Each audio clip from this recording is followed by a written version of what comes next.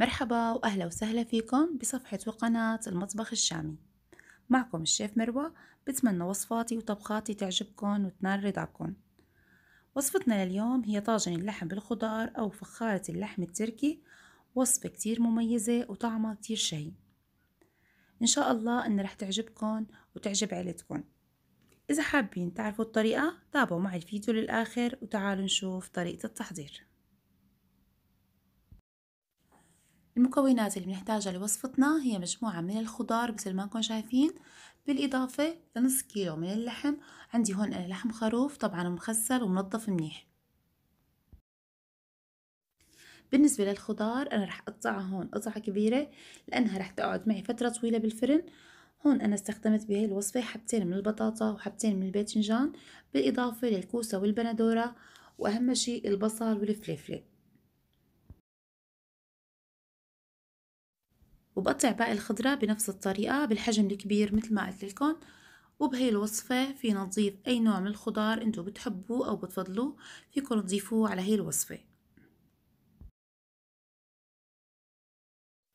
والحلو بهي الوصفة إنكم ما انكم مقيدين أبدا بكمية الخضرة اللي تستخدموها حسب المتوفر عندكم والموجود واللي انتو بتفضلوه بتضيفوه لهي الوصفة.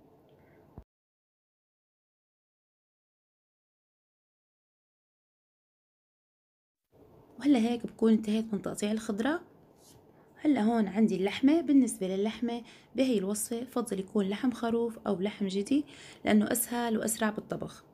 هلا بملح اللحمة وراح أضيف عليها نص معلقة صغيرة من الفلفل الأسود ونص معلقة صغيرة من الأوريجانو.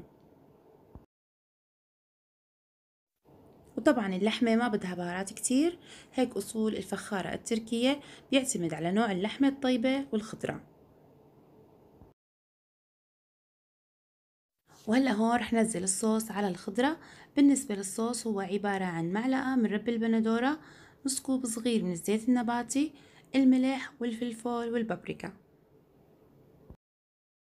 بخلص المكونات بشكل كتير منيح وبعدين رح أجيب طاجن الفخار ورح نزل عليه الخضرة. وبضيف اللحمة ورح أغطي الطاجن بورق الزبدة وبعدين بورق السلوفان. وبسكر على الطاجين كتير منيح وبهي الأثناء لازم يكون عنا الفرن محمى مسبقا على أعلى درجة حرارة رح ياخد معنا وقت من ساعتين لساعتين ونص. قبل ما تستوي الفخارة بساعة رح نجهز للعجينة.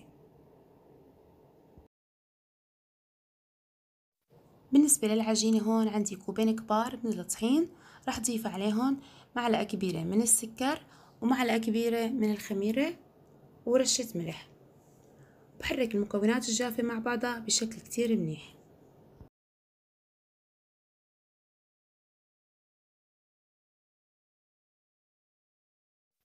وبضيف عليهم نص كوب صغير من الزيت النباتي بما يعادل أربع معالق وعندي هون كوب من الماء الفاتر راح أضيفه بالتدريج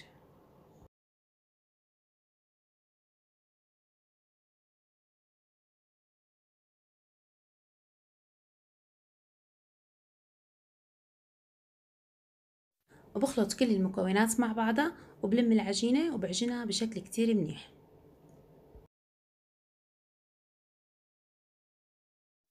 وبدهن إيدي بشوية زيت وبلم العجينة وبحطها بوعاء نظيف ورح أغطيها ورح نتركها تتخمر وترتاح لمدة ساعة.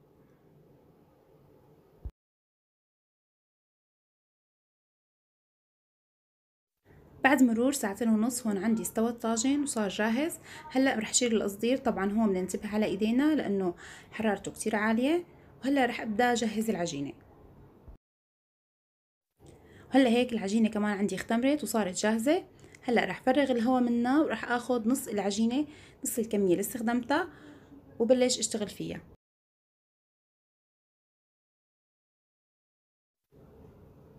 هلا هون رح رش شوية طحين وابدأ افرد العجينة بواسطة الشوبك. رح مدها طبعا سمكة العجينة لازم تكون لا سميكة ولا رقيقة تكون حجمها وسط.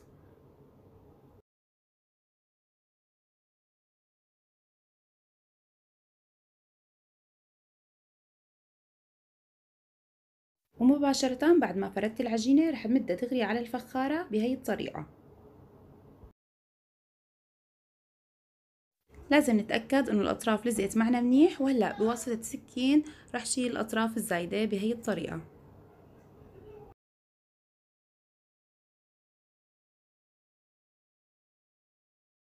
للعجينة هون رح نستخدم صفار بيضة مع الفانيلا ورح ندهن فيهم وش العجينة بهذا الشكل.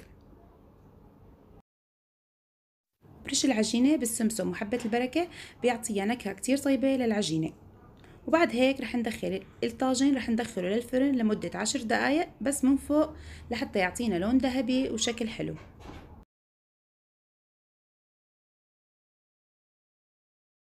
وهذا كان شكلها بعد ما طلعناها من الفرن. ما شاء الله مثل ما انكم شايفين شكلها كتير حلو وكتير شهي وطعمها كتير طيب.